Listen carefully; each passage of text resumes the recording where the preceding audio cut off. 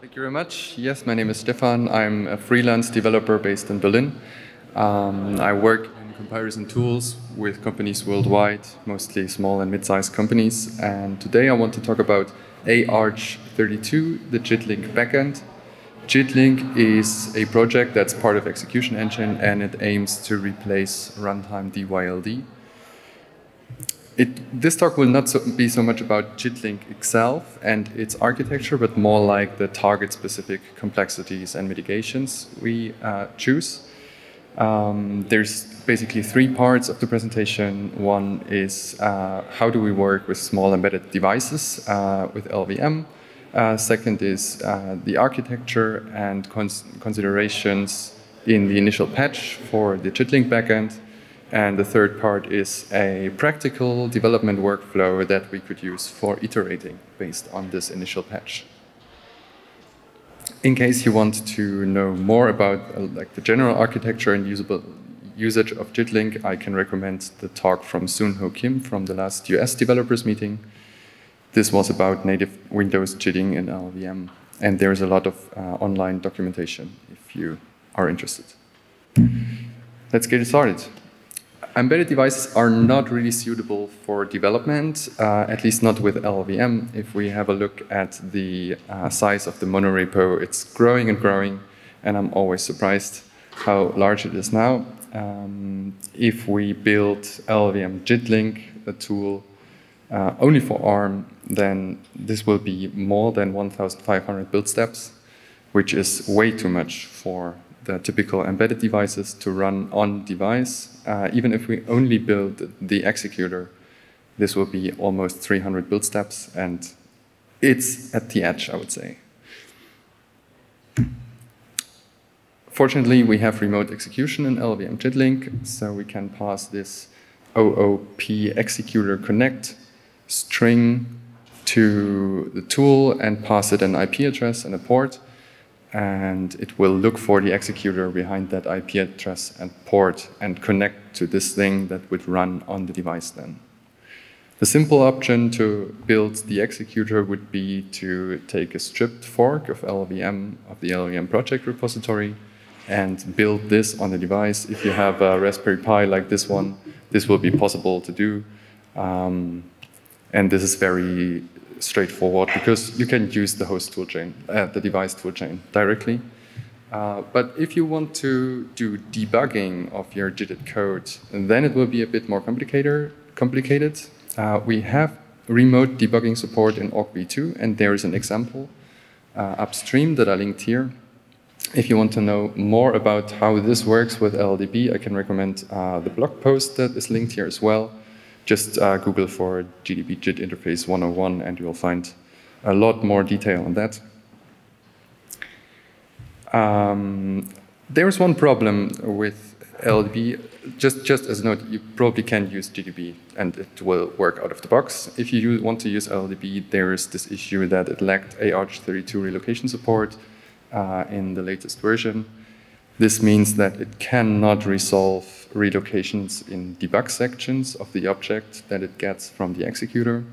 And I fixed this on mainline recently. Uh, in order to use that, you have to build your own uh, LLDB from mainline. And basically, you can use a configuration command like the one I show here and build uh, LLVM JIT-Link executor and LLDB server. Once you have the binaries, you can just co uh, copy them to the device and you're ready to go. You can also use the Docker container that I linked here that will should do uh, everything without a big hassle. Once you have the, the uh, executables compiled, you uh, copy them to the device and run LLDB server. Uh, here, for example, in platform mode, you pass uh, some ports that you can choose. Uh, same for LLVM JIT-Link executor. And once they are running, we can connect uh, LLDB on our host to this executor and set a breakpoint. This is here, target execution utils. This is a place in the code that will uh, be just before we call into the JIT main function. And at this point in time, we already registered the uh, debug information of the JIT code with the debugger So we can, for example, set breakpoints into the code. Once that's done, we can run LLVM JIT um, and pass it a cross-compiled object, like the demo.o in this case. And we can, and, and this will run the code on the device. And this is uh, how we set a breakpoint in JIT uh, code. We stopped at this target uh, utils, um, target execution utils uh, translation unit, and we set a breakpoint on main, and this is maybe not a very frequent uh, situation that you have many or more than one main function. What we see here with an older version of LLDB is that uh, the JITted main function has no um, source locations attached while the main function of the executor itself has source information attached. If we have time in the end, I can show this in a demo. Let's see uh, how fast we're going through. So much for running uh, and debugging on device. Let's go to the uh, architecture and considerations in, in the initial patch. AArch32 has two instruction set states, ARM and thumb. And in order to transition between these states, we need some kind of interworking. We need to tell the processor that there's something uh, that we change the instruction set. And this is typically encoded in the last bit of a branch target address. This is called the branch uh, thumb bit, sorry. And it tells the linker to emit a state changing instruction or better to say, to check that the compiler emitted the right thing for us and change it if necessary. So this means instead of a branch B instruction, we may emit a BX instruction. Or instead of a branch with link instruction, we may emit a BLX instruction.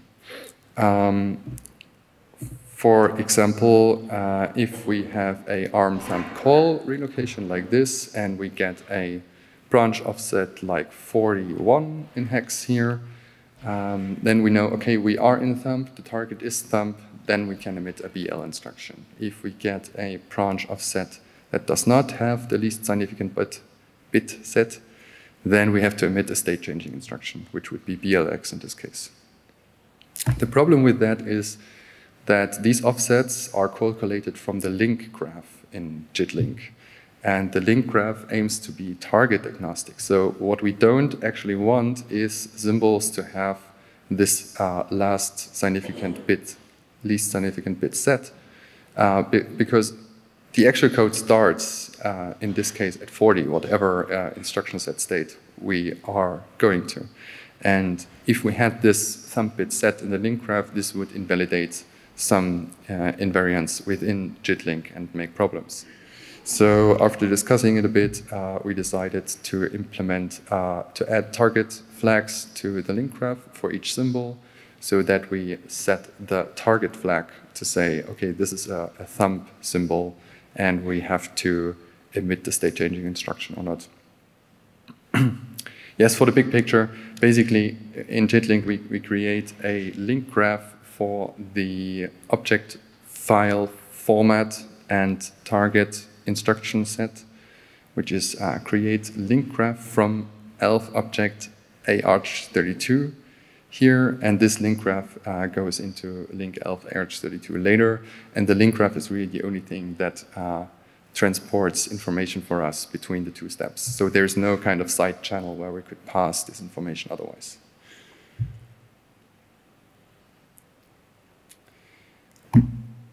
ARM is a 4-byte fixed length instruction set, while thumb is a variable size uh, instruction set where the most common instructions are 2 byte. This leads to a lot more density in uh, code. For example, Linux in 2011, uh, thumb, using thumb reduced uh, code size by about 20%. And this is very useful for embedded use cases, uh, but it also makes the instruction encoding very, very complicated. And it, it's full of bit shifts and, and masking to use every little uh, bit um, in memory. If you look at static linkers like LLD, they usually do everything on the fly. They are very throughput focused and want to have like maximum performance and maybe not so many abstractions. Um, a JIT-linker, of course, is also um, one, wants to have a low latency mostly.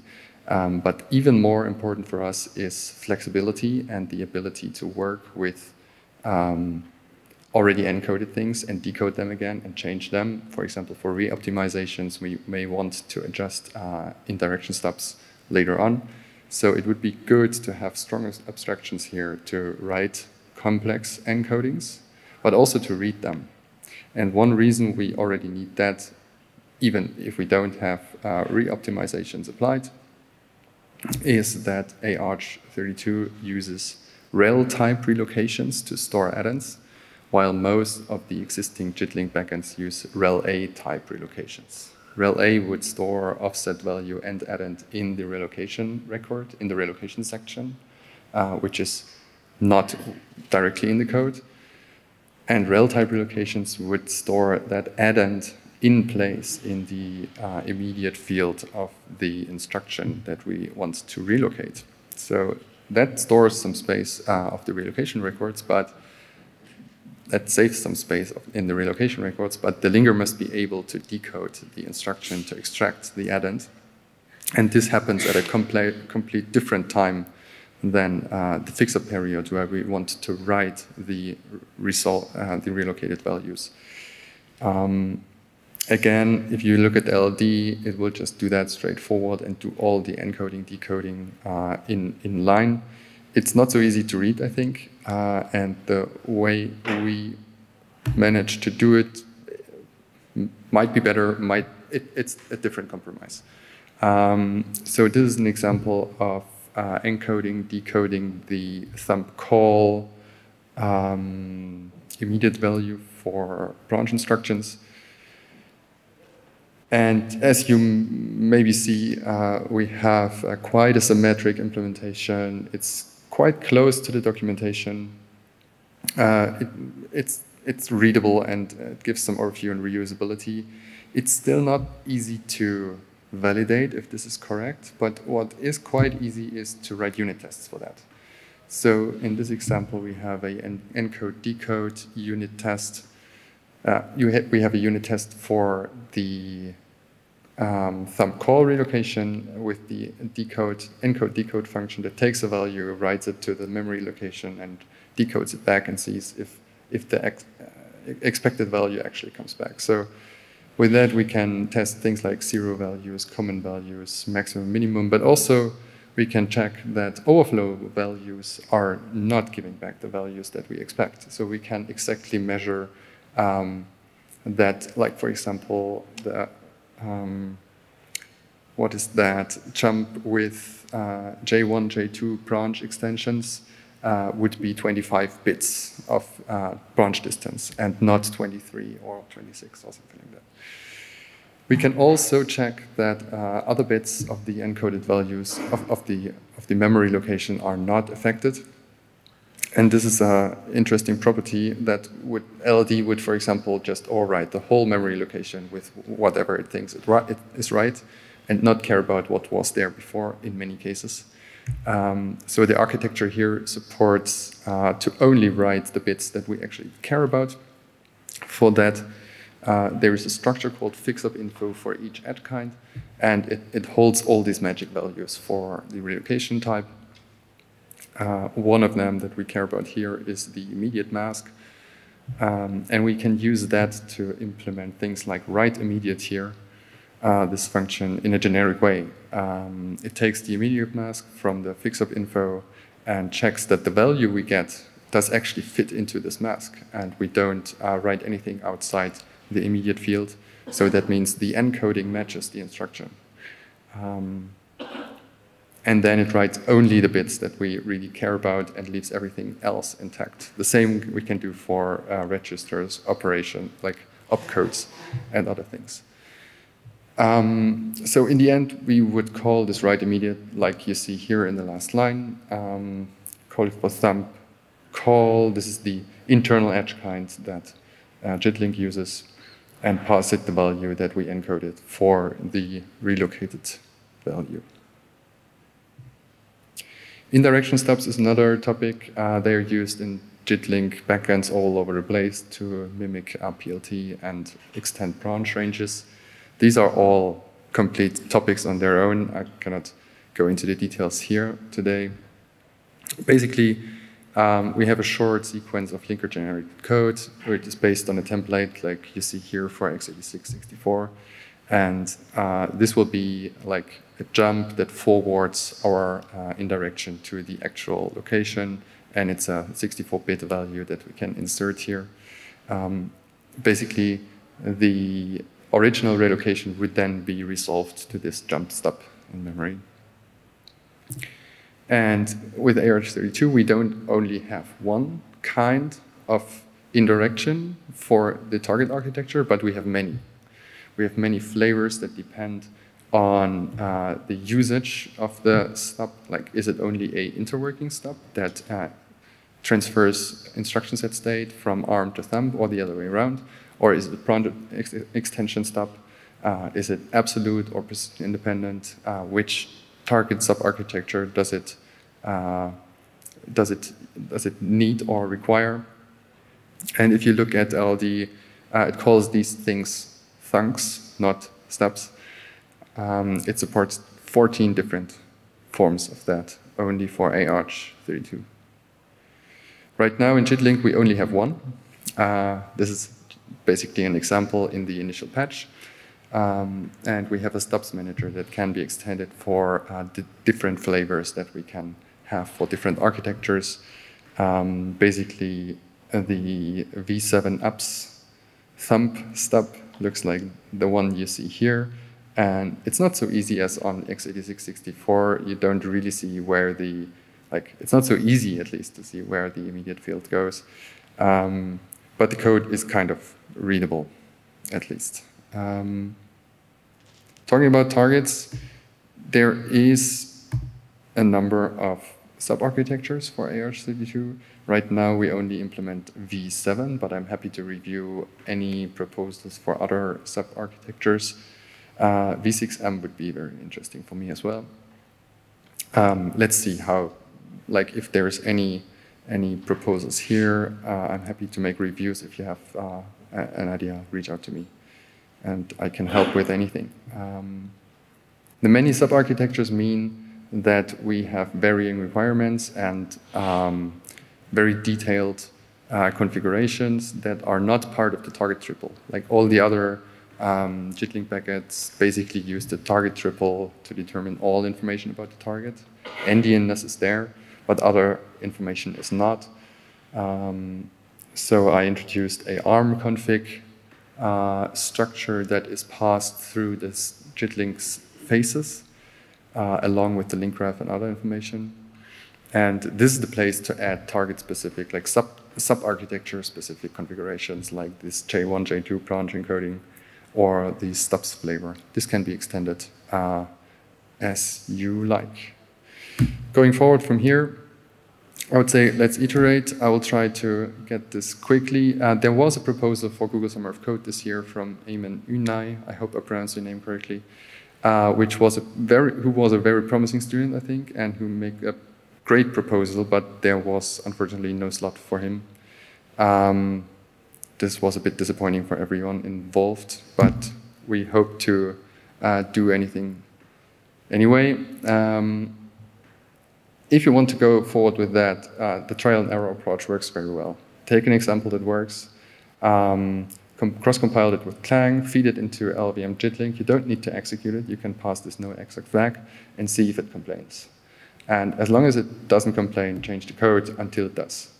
So for example, here we have a changed uh, input uh, object and we say, okay, for position independent code, there will be uh, a missing relocation. Uh, you can inspect the bug output, which is very, very useful, um, like this um, you can find the source location by copying the error message and uh, gra through the LLVM source code. And then you find like this switch statement, for example, and see, okay, the relocation type is not there. I have to edit, edit everywhere where you uh, find a, um, a, reference to that, and then do the same again and see what, what JIT-Link says, what it complains about. You can also change the target and sub-architecture um, and see what that what happens here. And if you're if you feel lucky, uh, try some C++ input, and we'll get a lot of lot of unsupported um, errors. I think we don't have time for the demo, unfortunately. I wanted to show how to inspect working memory and to debug on device. We can do that in the on the JIT roundtable if anyone is interested. It's today after lunch. Um, let me summarize the learnings that I that we would have. Um, we can read the instruction halfwords from working memory. Like what JITLink does is links everything on the host in working memory and copies that over to the device. And in working memory, we can see, for example, before and after apply fixup that we did actually change the instruction. This is the first example here. And what is also very interesting uh, and very useful is to disassemble for the target instruction set. If you just use the disassemble command in LLDB, you get like disassembly for your host, but this is not useful here. You want to disassemble for thumb in this case, you can pass it a whole target triple, but thumb would be enough for the moment. And you see, okay, we have a BL instruction here that has no offset, so it basically uh, branches to itself. Um, and as soon as we do apply fixup, it should have an offset. And so this way you can check you did not break the encoding and everything. Hooray, we have source level debugging. Um, so this is the example for current mainline LLDB where we can step through our JIT code on the device, use the typical commands to inspect variables and so on. Um, that's very nice, especially for like bigger code debugging. Uh, if you implement relocations, you probably don't need that. With that, I'd say thank you for your attention. Uh, we can have a few questions. Maybe uh, on the last slide here, I listed the. questions. So I guess if anyone wants a question, I can pass the microphone or if you want to come up to the, come up to the microphone.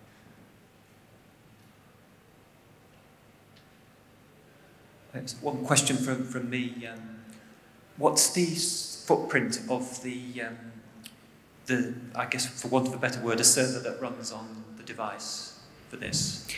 The, the footprint of the executor? Yes. Um, this is quite large. It's in the, like around one megabyte okay. or maybe more. Yeah. Um, this is okay for hosted embedded devices. For bare metal, this is not possible. I built my own project that I uh, showed last year, which is called ez-clang, and it has a executor implementation that is not compatible with the upstream LLVM one, but it is about uh, 2.4 kilobytes. So this is yeah. possible, but it is not something we have upstream. Okay, so you're probably looking at a very high-end Cortex-M, possibly, but uh, mostly on the A profile small end. Yes, upstream development. I mean, Raspberry Pi is very popular. It, uh, many people have it. It's a good way to implement uh, a first thing here that might be.